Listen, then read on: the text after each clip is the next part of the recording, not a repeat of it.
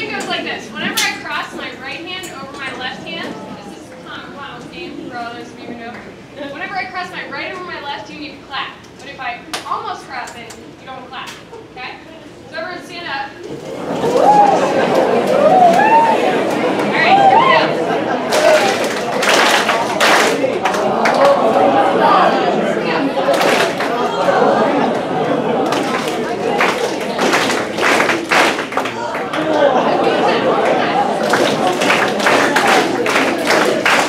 All right, I just wanted to make sure I got a standing ovation. You can all sit down.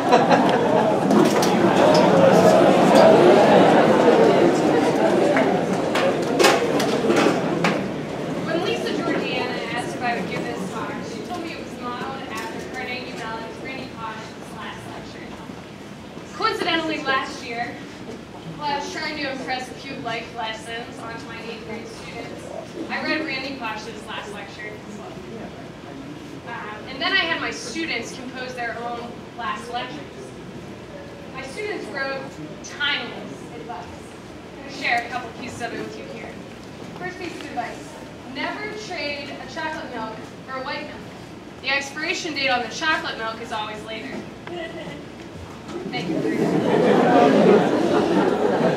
Second piece of advice, always eat your pizza with Oreos on it. Trust me, it will change your life. Maybe not for the best. And my favorite, uh, most of your teachers don't actually need you.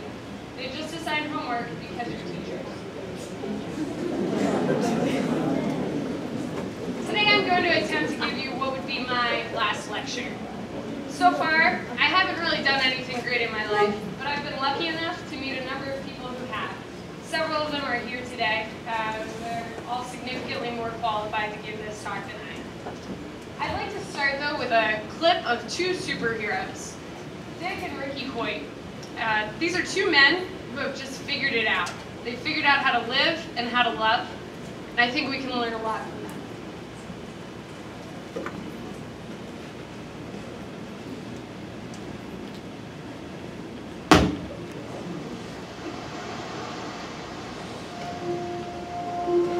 Registration for the 25th Ironman continues one by one. Some faces we recognize. Here is 58-year-old Richard Holcomb, number 214, back for a second try. He's legally blind and it doesn't matter to him. No, the thing that must occur at all costs is this time, cross the line. It's more than a race. It's a lifetime event that we'll remember for the rest of our lives. They're either going to carry me off the course, or um, I'm going to cross the finish line. Stories about people like Richard Holcomb pass through this world as Race Week moves toward this morning. Hey, did you hear about the man who is legally blind? People love to tell and love to hear the stories. Then, appearing near the start line, where they've been before, are father and son, Dick and Ricky Hoyt. There is no one here who hasn't heard about them, their story, and a human commitment that goes far beyond and far back.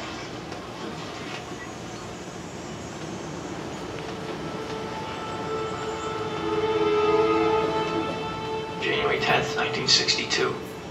We knew there was something wrong, but we did not know exactly what.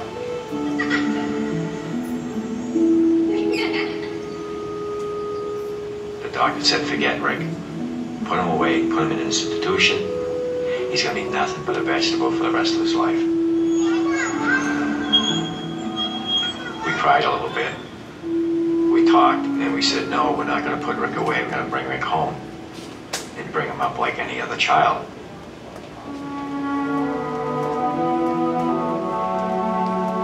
We knew Rick was smart. We could tell by looking in his eyes. And when we talked to him, we, you know, he was paying attention to what we were saying. So we wanted to get a computer built so Rick could communicate with us. Everybody came to our house that night for Rick to say his first words, and everybody was betting, you know, what is the first words Rick is ever going to say? His mom saying it's going to be hi, mom, and me, dad, saying, oh, it's going to be hi, dad. Boston Bruins were going for the Stanley Cup, and the very first words Rick ever said was "Go Bruins." Dick is a military man, so he knows a thing or two about commitment. This time, he's just months removed from a heart attack. This gift that he gives to his son, or is it the other way around? Either way, it all started when Rick heard about a charity run for a paralyzed athlete. He asked Dad, and Dad said yes.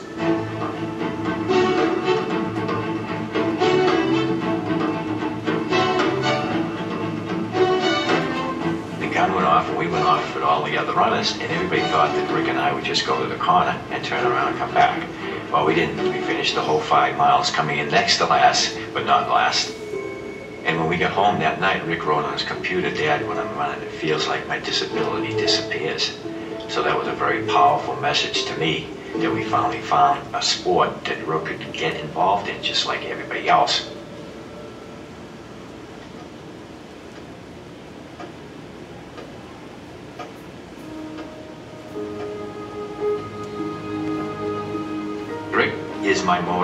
Inspires me. To me, he's the one out there competing, and I'm just loaning him my arms and my legs so that he can compete. There's just something that gets into me when I'm out there competing with Rick that I can't explain it, and we're able to go faster. And it's just an unbelievable feeling.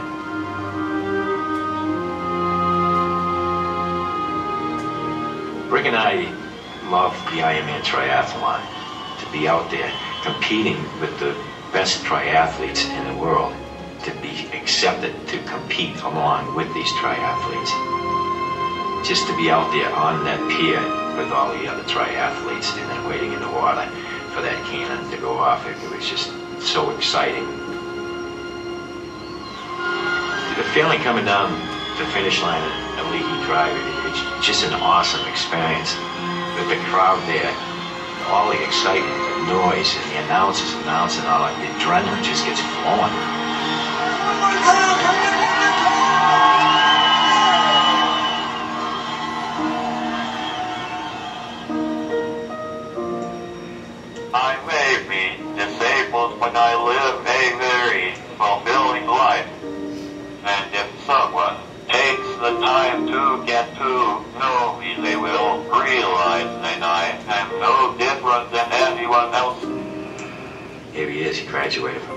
High school, he's graduated from college.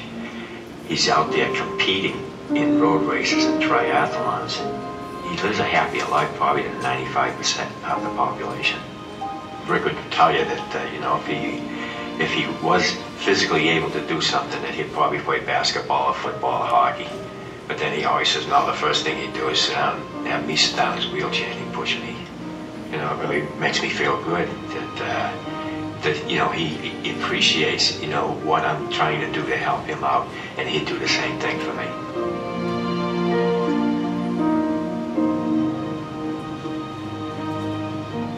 Our message is yes, you can. You can do anything you want to do as long as you make up your mind. You can do it.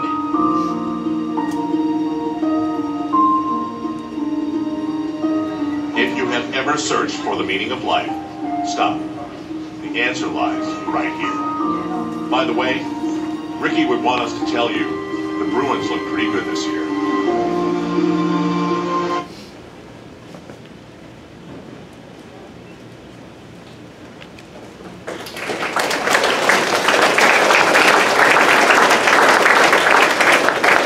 Pretty, pretty awesome guys up there. Um, I think we can learn three key lessons from Dick and Ricky Hoyt.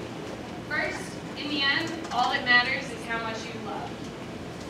Second, don't let words limit others, and you believe in yourself. Third, in end, it's not in meeting the end goal, it's in the journey. A few weeks ago, I was at a wedding for one of my closest friends. During the homily, the priest said, When we die, God is going to ask us one question How did you love? That's it. How did you love? God doesn't care about our awards or our grades or our jobs or the amount of money we make. God cares about how much we love. In the end, that's all the people who really matter will care about too. Dick and Ricky Hoyt have figured this out. Dick, Ricky's father, gets up every morning and swims, runs, or bikes. I'm not talking about some little 5K jog that most of us probably go on to train for our sport or to stay in shape. This man runs Ironmans. It's a marathon, over a 100 mile bike ride, and a 2.4 mile swim. And he does it while pushing, pulling, or dragging his son with him. The other thing is, he's been doing this for a really long time, and now he's doing it over the age of 70. Pretty impressive. He does all of this because it makes his son feel alive. It's incredible. It's absolutely real love. When Ricky was born, the doctors told his parents he'd never do anything. In fact, they suggested that Ricky be institutionalized. Ricky's father saw potential in his son. He believed his son could do anything. Niele Ivey, one of my basketball coaches at the University of Notre Dame, used to tell us, people play better when you believe in them. And the most important person you can have believe in you is yourself. As Lisa said, I walked onto the basketball team at Notre Dame my senior year. Now, this wasn't exactly a smooth journey onto the team. My effort to make the team basically went like this. I'd wake up, I'd go to class, and then about once a week I'd walk over to the women's basketball office. I'd go in and I'd see the receptionist there named Tina, and I'd say, Hey Tina, any news on whether they're taking any walk-ons on the basketball team this year? She'd look at me, smile sadly, and say, Nope, see you next week. Then I'd leave. I'd go play basketball at the rec center then for three hours, just about every day, with a group of 30 guys. This continued on for three years. At the end of my third year there, my junior year, I decided I'd make one final push to get on the basketball team. The guys that I played basketball with every day were completely behind me, and they decided to even write emails to the coaches asking them if I could have a tryout. Their emails ranged from rants like, let Mary play, with all capital, capital letters, tons of exclamation marks, to more professional and kind letters that in the end were probably sufficiently more helpful. One of the professors that used to play with us sometimes even told me that he was having his kids write in sidewalk chalk outside one of the assistant coach's house asking if I could have a tryout. Not sure if he did or not, if he did that or not, uh, but the thought of it made me chuckle. Eventually, I got an email from one of the assistant coaches. The email said, Mary, we're having tryouts after class on such and such a date. We look forward to seeing you there. And please tell all your friends that yes, we have received their emails. They can stop sending them. Those guys I played with every day believed in me, and I went into the tryout knowing that the people I worked out with every day thought I was going to succeed. Still though, I was pretty nervous. So as I walked over to the Joyce Center for the tryout, I called my older sister and best friend, Marita.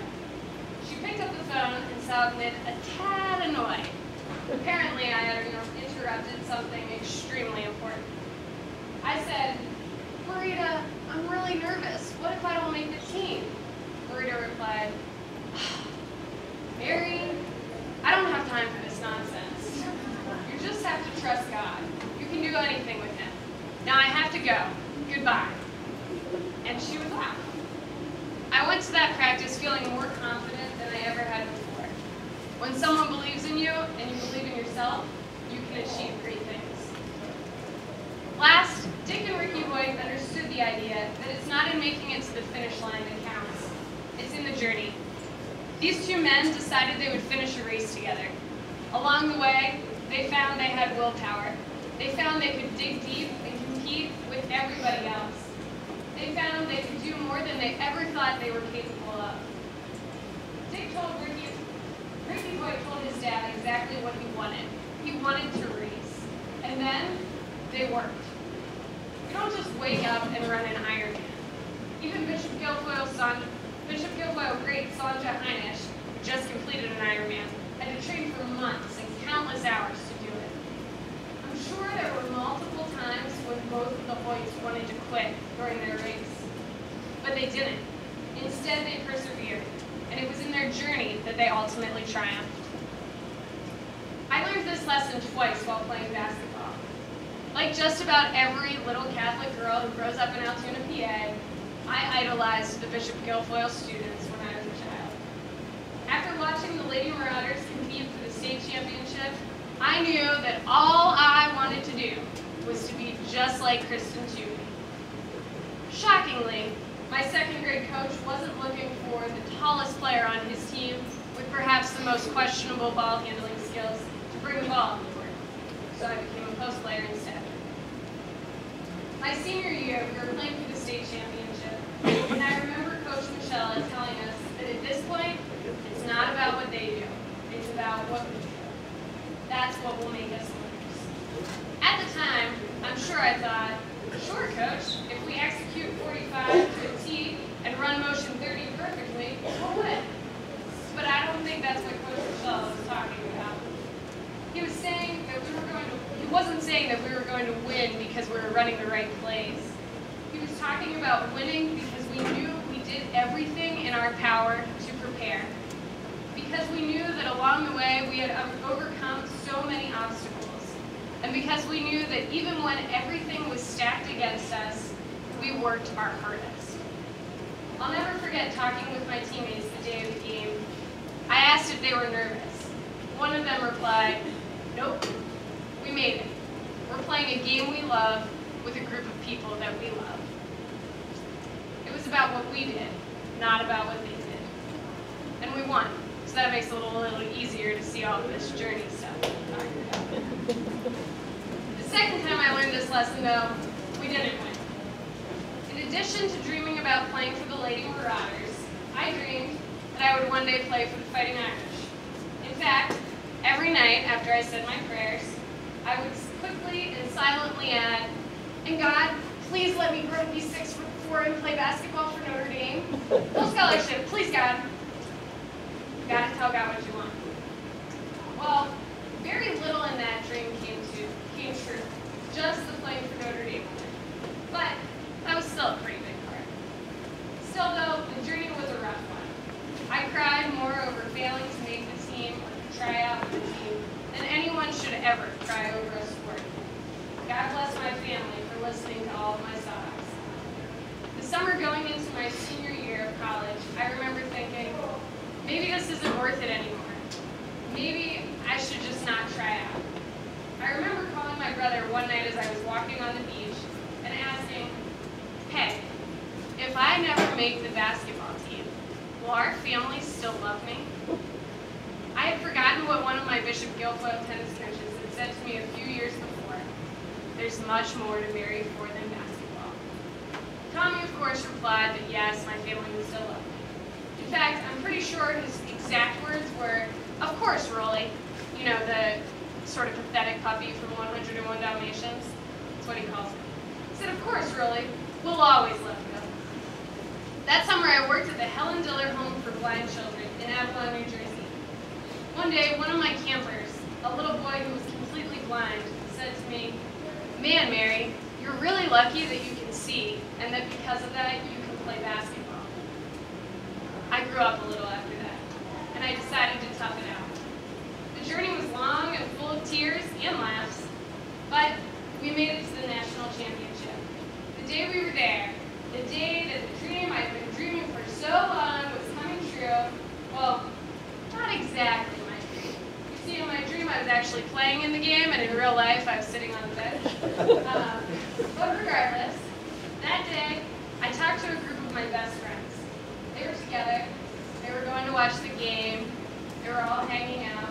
And they were having a blast. And in that moment, I remember thinking, gosh, I wish I could just be with them right now. It was the journey that was special. It was the people that helped me along the way and the obstacles, sometimes of my own manufacturing that were overcome, that were special, not the finish line. I guess the finish line was a little special too, but it wasn't the part. Sometimes we forget about the journey. We focus so much on the end that we give up because we can't see our progress. If only we knew how important the journey was to the goal, we'd never give up. So we've got three main points from the voice. First, love is all that matters. Second, believe in yourself and believe in others. And third, it's about the journey, not about the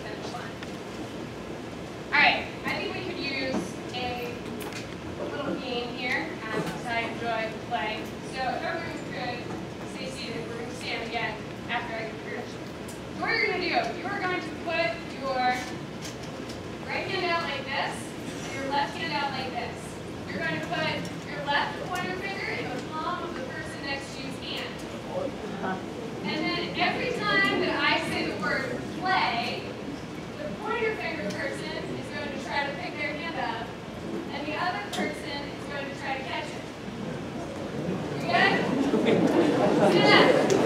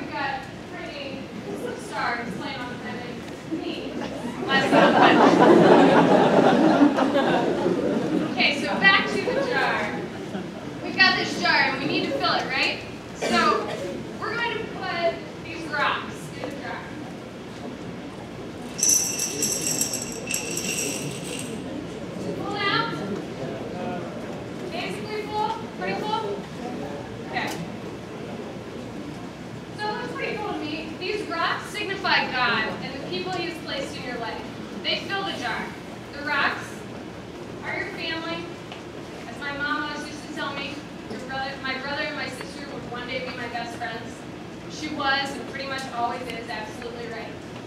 The rocks are your friends who get you through each day. They're the people you encounter. They're the most important things. Each morning, my, when I was in high school, my dad used to drive me to school. We had to be here at 728,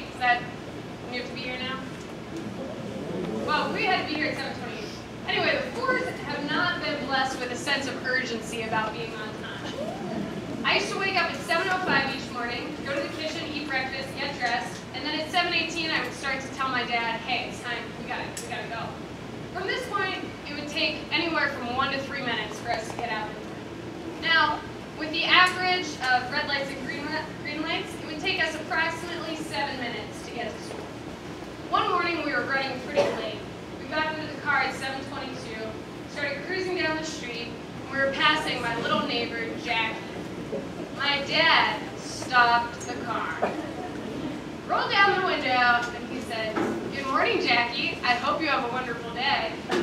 I was fuming. I'm going to be late, I roared. My dad looked at me and said, Mary, people are the most important thing in your life. You should never be in such a rush that you don't have time to stop and talk to a human being. All right, back to the car. So now we're going to Corin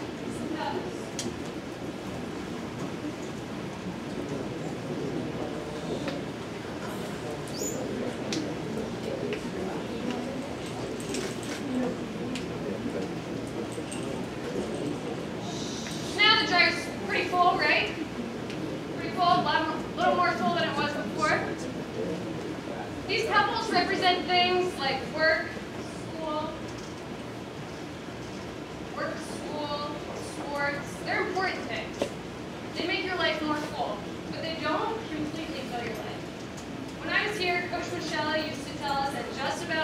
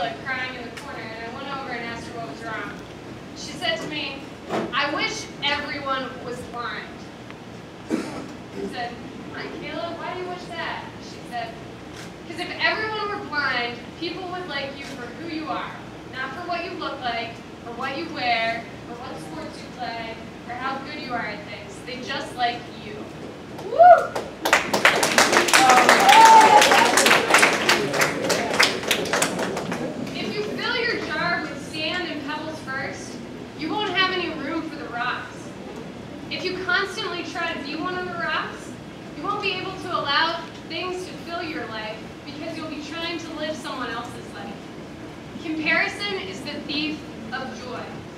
Don't compare your jar to someone else's. It was uniquely designed for you by God, and He thinks it's perfect. You should too. Don't be afraid of your jar cracking and breaking either. It's only through breaks and cracks that are caused by loving others and allowing them to fill your life that your jar can become larger and your life can ultimately become more filled.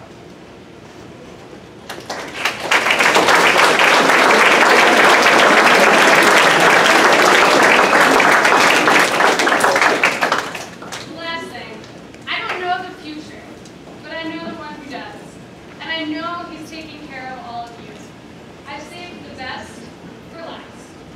If there's one thing you should take away from all of this, it is that life will be much better if you get to know God and his blessed mother. Sometimes, like everyone, I've gotten really, really angry at God. And that's why we need to know his mom too. The Blessed Mother is like any good mom. She loves you, and she wants the very best for you. And just like she did at Cana, she's asking our Lord to perform little favors for you, just because she wants to see you happy. When you're upset, like any good mom, she'll always lead you back to her son. And she'll work with you to make sure things get smoothed over. Trust her. More importantly, trust her son. He's looked after you with so much love and care up to this point. You are his most prized investment. He loves you uniquely and completely. And anytime you doubt that, you can just look at the cross. He's there with his arms wide open, waiting for you to place your life in his hands. So wake up every day and celebrate, because today could be your best day yet.